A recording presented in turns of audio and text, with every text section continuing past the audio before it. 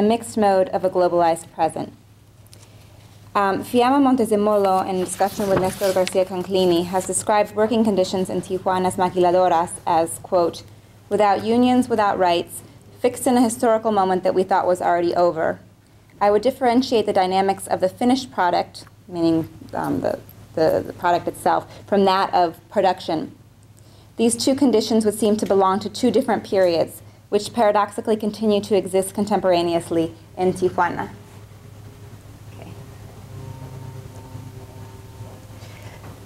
Um, end quote. So when we use the terms post-industrial or post-work, she asserts, we must always ask where and for whom this post operates.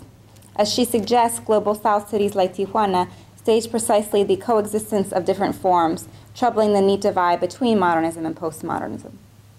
In Sleep Dealer, labor is both mind-numbing Fordist factory and postmodernist flexible virtuality.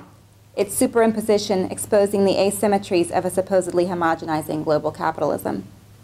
The film renders visible these uneven textures, as opposed to the cele celebratory formulation of multiple or, or alternative modernities, by juxtaposing them within a grounded site.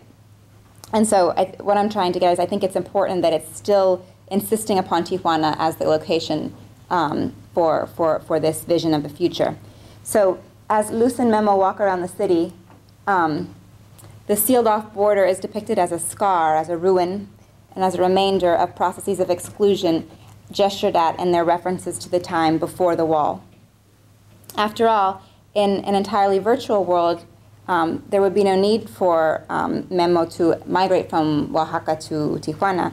Um, there would be no need to be physically closer to the U.S. Um, and in this sense, the scar of the border and the backdrop of their lives in Tijuana embodies this uneven texture, alluding also to a history of violence that persists in the film's dystopic vision of the future. This image of the scar is also embodied in the nodes, which I mentioned are these um, metal circuits that the workers have um, put in, installed into their bodies in order to connect into the global economy. Polymorphic, the nodes function as interfaces between legal and illegal economies, between the local and the global, and between labor and sexuality. On one hand, the nodes are both symptom and vehicle of an exploitive informal economy. So with them, workers are able to labor on and with images through virtual reality technology that immerses them into an alternate world, not for pleasure, but for survival. it's sort of like they're working on video games, um, but it's obviously this sort of very debilitating labor that's endless and, and consumes both their vision and their, and their bodies. In addition, the nodes and their requisite orifices, which the camera lingers on with close-ups, imply the feminization of the labor force that Donna Haraway explores in her Cyborg Manifesto. Workers are penetrated by wires that leave them exposed to the perils of a globalized economy in the form of electrical surges. So here's an image of, there's a lot of images in the film showing the workers connecting with their nodes as well as having the nodes installed, which is a, it's a painful process. Um, and they have to be continually re-shot up with more, um, they call it um, techie, like the Yoda bars and get shot up with more of this stuff to continue to be able to work. Um, on the other hand, and also with a nod to Donna Haraway's notion of computerized technology's two-faced quality, in Sleep Dealer, the nodes make possible a continual play on the verb conectar, repeated throughout the film. Along with Memo, we first see the nodes live on the bus to Tijuana where he meets Luz, who's an object of desire, and her bare arms are punctuated with them. Film dialogue hints at the fact that the nodes had a prehistory prior to their incorporation into the global economy of a counterculture linked to sexual experimentation and gaming. In this sense, the characters are not only exploited workers, they are also users who employ these invisible circuits as palpable bodily presences, endowed with libido and affect. These scenes also provide the spectator with moments of arrest in terms of visual pleasure that suggest possibilities or, alter or, or alternative uses even within the instruments of exploitation. Recently, Katherine Hayles, who's a, a theorist that I'm working with a lot lately, or been reading a lot of her lately, um, has argued that Haraway's seminal concept of the cyborg, which was written in the 80s, her Cyborg Manifesto, needs to be rethought beyond the individual unit. So the cyborg, she says, is too individual of a unit. Um, and she writes that it's quite, this is quote, um, quite simply not networked enough, end quote. What's interesting about Rivera's border cyborgs, however, is that they're always already networked, hooked up into the cognosphere, that's the term that Hayles uses, um, that is global capitalism. Their nodes allow modes of connection previously impossible, but they also interrupt other circuits, namely that of the family and a sense of autochthony or belonging to a place. The slogan, anyone can connect, which is sort of repeated throughout the film, alludes to the promise of an infinitely mobile cyberspace without boundaries or borders, a space without materiality or territory, and yet the dream of a deterritorialized virtual space is undercut from the very beginning with its imbrications in an increasingly unequal system of labor distribution. Does cyberspace offer, as media theorist Jesus Martin Barbero has recently argued, an alternative to Latin America's long history of privileging writing as a technology implicated in a vastly uneven distribution of power? Or does it merely provide the illusion of a deterritorialized space, a trap for would-be hackers, anti-capitalists, and cyborgs? From the vantage point of the 21st century, when cyberspace is clearly not the uncharted frontier it was for 80s science fiction, how can we define the potentials and limitations of this now consolidated medium for the global south? Directing these questions to its spectators, Sleep Dealer stages the Janus-Face relationship between labor and technology under global capitalism, its dual potential for a politics of liberation and false promises of mobility. In the scene where Luz injects Memo with his nodes, blood and scar tissue are framed by close-ups and a violent initiation into this circuit that transforms him into a cyborg. This scarring returns us to the border trope, for here, the human body, which in the early cyber literature and film was um, referred to as sort of derogatorily as the meat, and it was supposed to be dispensed with in order to enter this bodiless network. Um, this human body is itself marked and scarred by its entry into the virtual bodiless space of global capitalism, or supposedly virtual bodiless space. In this sense, it's interesting that both Sleep and La Antena linger on the motif of the scar to allude to lingering patterns that cannot be overlooked in science fiction's appeal to an imagined futurity. And here I'll conclude. Um, for Fredric Jameson, as well as for the Argentine sci-fi critic Ezequiel de Rosso, science fiction is less a commentary on the future than an interrogation of how the present functions as the past for an as yet unimaginable future. Science fiction, that is, is a genre of alternative grammars, of possibilities housed both in the past and the future. I have suggested that this operation occurs through the trope of the scar and its insistence on historical memory as a thickness or density on the surface of the globalized network or the screen itself. In Sleep Dealer, it functions as an allusion to a long history of worker exploitation in U.S. Mexican history, already apparent in Rivera's short film, which is sort of the seed for this longer film called Why Cybraceros from 1997. Um, and this film is a satire that imagines, um, that it's exactly the same premise as, as the longer film, um, but it does an interesting thing where it mixes um, footage from the California Growers Council promotional sort of propaganda footage called uh, Why, Why Braceros, from a 1959 film, which is a promotional film for why would we want bracero labor. Um, and it mixes it with this image of why cybraceros, so we could have Mexican labor without the Mexicans, basically, which is the premise of the film. And in, in La Antena, it's the relationship between dictatorship and neoliberal market that is underscored, while in Sleep Dealer, um, there's a kind of remediation or repurposing of the technologies of mid-20th century. Um, in this case, uh, hands picking fruit and celluloid cinema, um, which do not disappear but are reactivated in light of computerized technology. Rather than being rendered obsolete, manual labor has been repurposed in the language of, of media theory um, in order to reproduce older patterns. This is a persistent feature, I would suggest, of the slender corpus of Latin American science fiction, in which historical patterns of injustice are rehearsed and critiqued in the context of an imagined future that asks us to consider how it might have been otherwise. Thank you.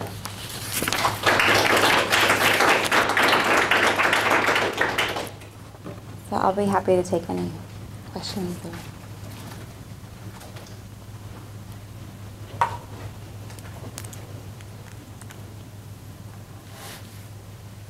Sure. Is uh, La Antena, do you know if it's available on DVD? It is available on DVD. You might not be able to find it so easily. Um, I mean, you can find it easily in Argentina, um, but I don't, it's not available. And it's not available on Netflix, but it is it is out on DVD. Yeah, and you might even be able to find it on. I haven't checked to see if you could find it on on YouTube. It really is quite a striking film, visually just to, to see. Yeah, especially if you're interested in sort of relationship between early cinema and contemporary cinema. And I had never seen a film like it um, when I saw it. Um, and it's interesting too because um, some of you might be aware that there was a full uh, version of Metropolis found in the basement in a, in a canister in Buenos Aires recently. And this story that's this kind of amazing kind of Borgesian detective story where this guy just thought it was there and couldn't get to it and found it. Um, and it was really sort of a find for world cinema. And this happened right after, around the same time that La Antena was being made. So I like to think about this relationship between Metropolis and Argentine film production is also um, working on that level too, um, and the sort of making the Argentine Metropolis in 2007, you know, instead of 1927. But, yeah, What kind of people would watch those films? the two films that I showed. Yeah, I mean, Sleep Dealer is a widely available film. It's available on Netflix. Um, it's not. Available, yes, but I mean, who would want to watch? Well, I was gonna, I was gonna ask how well it did. Yeah, I mean, it's a it's an independent film, so it's not going to have the same box office appeal as a Hollywood film. But it was it's actually very popular, and um, he's been touring for years showing the film. He does a lot of tours at festivals and and universities. Actually, he's our invited filmmaker for the conference that I'm organizing. Um, and I can, well, if we have time, I could show you some images because our website is is based on some of the stills from the film. But um, I think the La Antena, Lantana had a smaller audience. Um, it, it screened basically at sort of art house um, cinemas in, in Argentina. And um, yeah. yeah, but they're, they're great films, so I recommend them. I actually think that, I mean, I haven't seen uh, Uh-huh. antenna, but I, I've seen Mhm. Dealer, and I think it's worth watching the whole thing because it's like, and I was gonna ask you, if you, you see some optimism, I mean, without giving Mhm. away. Yeah. Yes, Definitely. Yeah, I I, think- Alex Rivera is coming in two weeks or two or three weeks. Oh, He's doing a Midwest tour then because he's going to University of Michigan, then to Iowa, and so yeah.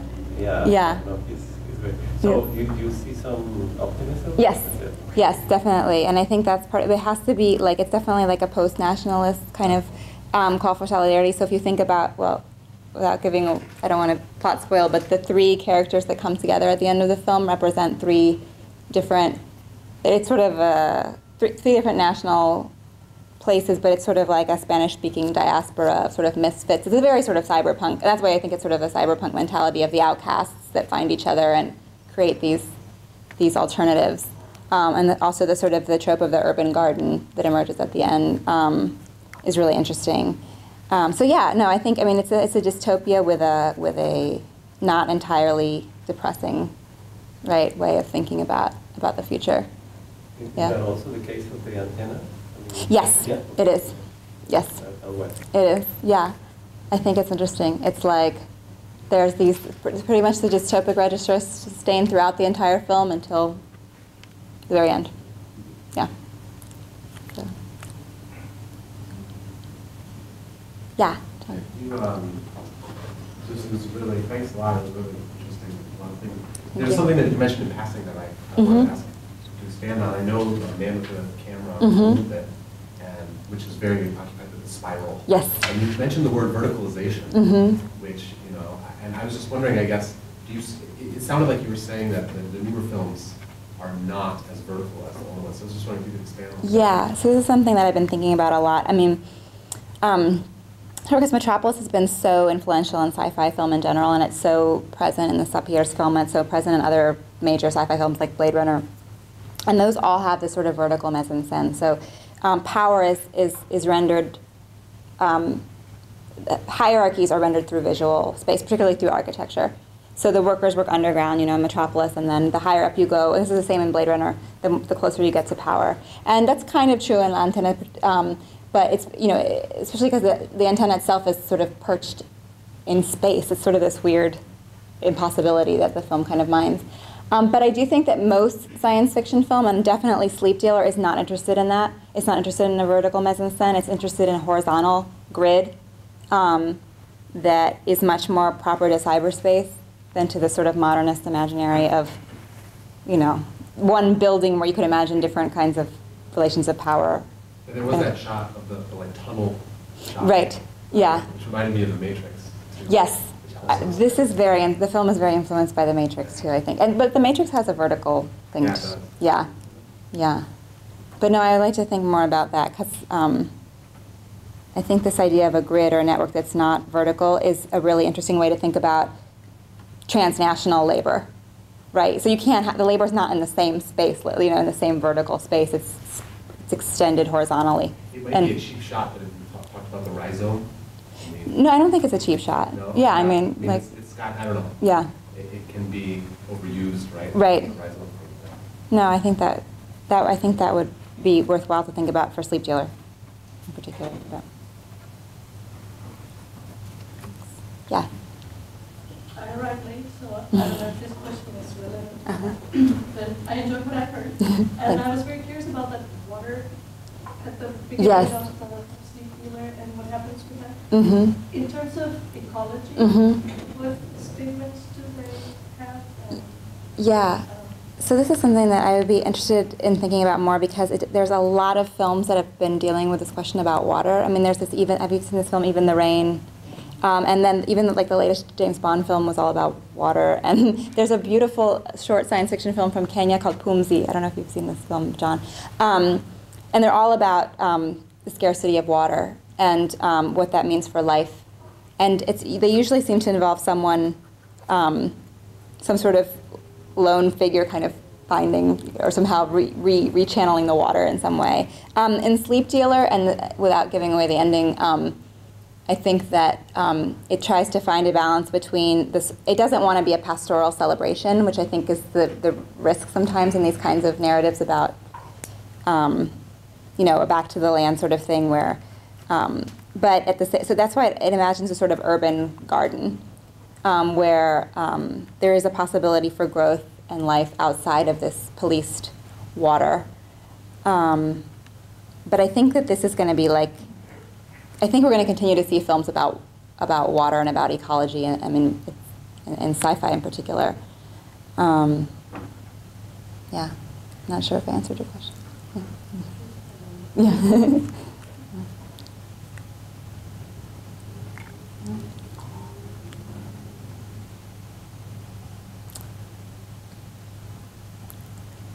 Okay.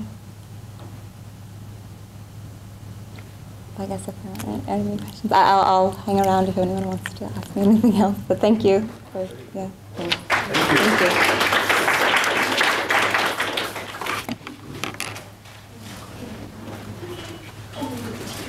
Um, I'm always looking for like foreign sci-fi movies. Do you have any other rec, do you have any Sure, recommendations? yeah, I'm teaching a class on this. So if you want to send me an email, I can